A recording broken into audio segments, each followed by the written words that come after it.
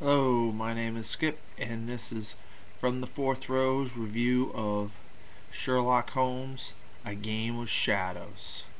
Now, let me tell you, the action is fast and furious in uh, the latest installment of uh, Guy Ritchie's Sherlock Holmes franchise, and uh, it gets going right away, right off the bat. Um, you know, Robert Downey Jr., you know, I guess it's interesting to see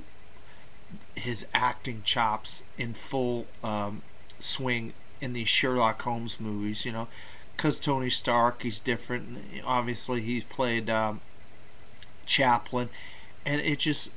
it's like feels like it's natural to him to have this British accent and and, and in this world of um,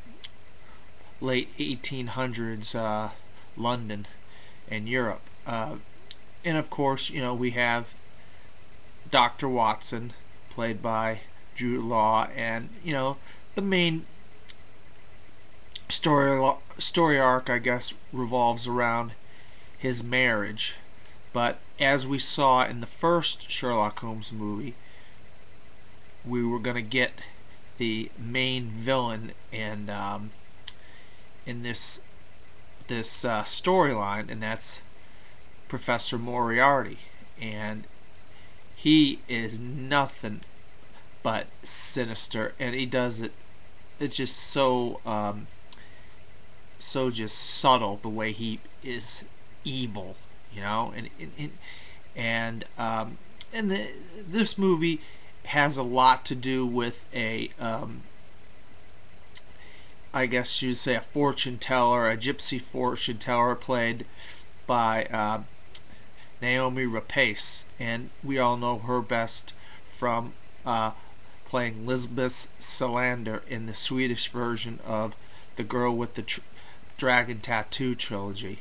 And she is really good in this as well. And it has to do with her brother and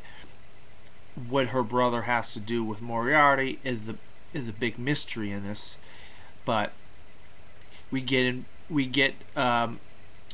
a side plot where we have some assassinations involving political um, people from different countries and some manufacturing of some weapons and um, but I mean I think what's what really makes this movie um, great is there is a sequence towards the end of the movie where we're trying to find out a uh, an assassin, who this assassin is going to be. And while this is going on, Moriarty and Holmes have a game of chess, and each move on the chessboard coincides with Watson and um, the gypsy uh, woman played by Rapace, looking through all the people and figure eliminating who different people who they think the assassin could be. And I just I think this the the slow motion, you know, we had some slow motion stuff in the original uh, Sherlock Holmes, but I really love the use of the slow mo uh, camera and showing us the little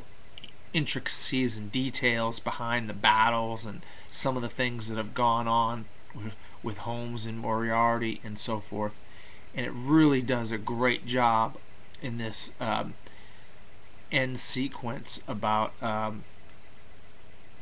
but uh, I just I think this is a very well done um, sequel to um,